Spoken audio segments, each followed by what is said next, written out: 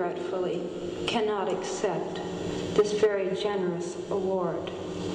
And the reasons for this being are the treatment of American Indians today by the film industry, excuse me,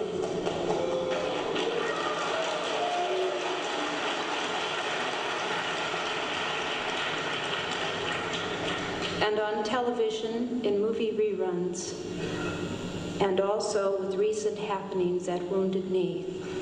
I beg at this time that I have not intruded upon this evening, and that we will, in the future, our hearts and our understandings will meet with love and generosity. Thank you on behalf of Marlon Brando.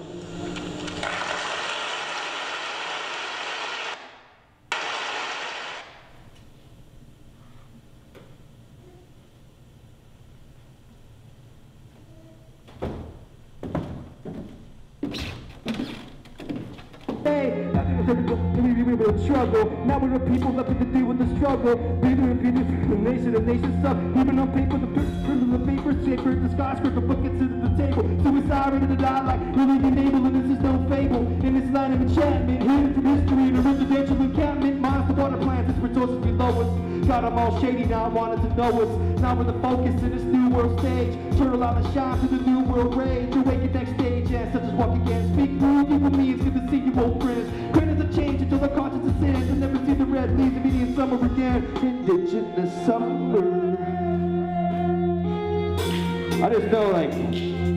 from the scope that I'm not an Indian, but I am on paper. So why do we still live these Indian summers through weird old classification?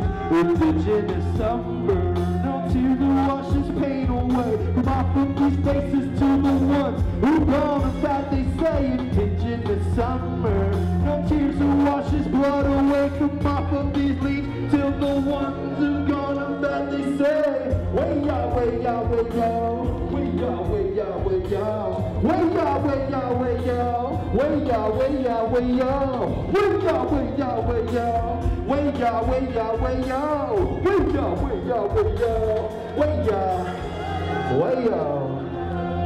We're still waiting here while the rest of the world's way out there.